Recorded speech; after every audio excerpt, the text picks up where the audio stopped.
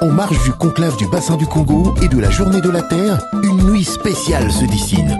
L'ONG Congo River et le groupe Kwetu, en partenariat avec l'ambassade des États-Unis en RDC, vous invitent à la nuit du bassin du Congo.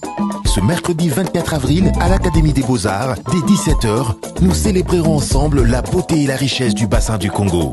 Au programme, des artistes internationaux et de la RDC illumineront la scène. Leurs voix s'élèveront en un chant d'amour pour notre terre. L'entrée est libre, venez tous. Célébrons ensemble le bassin du Congo ce mercredi 24 avril. La nuit promet d'être belle.